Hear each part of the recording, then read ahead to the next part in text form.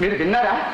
ఏమిటి? గెలుపు కోసం బ్రహ్మన్న గారు దేశ దేశాలు గాలించి మెరికల్ లాంటి కోడి పుంజులు తెప్పించారట. చాలా సంతోషం. ఆ? వాటికి తానే స్వయంగా శిక్షణ ఇస్తున్నారట. అలాగా? అందులో పానుగంటి చిట్టిమల్లు పేరొందిన పందెపు కోడట. కావచ్చు. గడువు దగ్గర పడుతున్నా మీరింతవరకు ఏ ప్రయత్నమూ చేయలేదు. లేదు?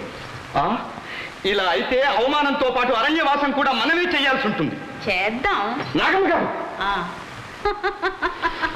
మీ నవ్వులోని ఆంతర్యం ఏమిటో నాకు అర్థం కావడం లేదు. మీకు ఎప్పుడు ఏది అర్థమైంది నరసింహరాజా?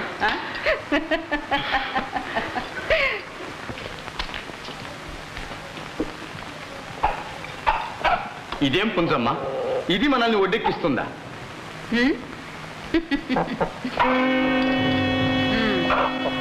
భేష్ బాగా అమరింది. కోడి పోరు పూర్తయ్యే వరకు నిలుస్తుందా? నిలుస్తుందమ్మా. మళ్ళీ మనం విడదీసే వరకు పట్టిన పట్టు విడవదు చూడండి.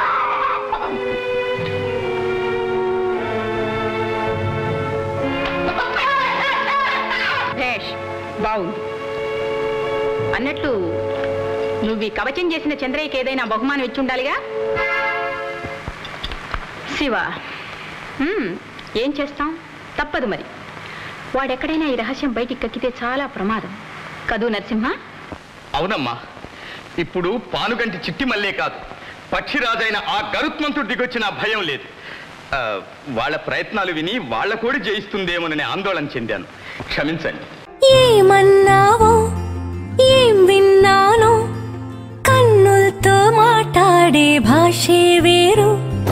ఏదో మాయా చేసావయ్యా మనసులతో పాటాడే రాగం వేరు. చిన్ని చిన్ని ఆసే సిరి వెన్నెల్లో నా పూసే గుండెల్లో నీ ఊసే ఒక బాసే చేసే. గుచ్చే చుప్పుల్లో నా అరవిచ్చే నవ్వుల్లో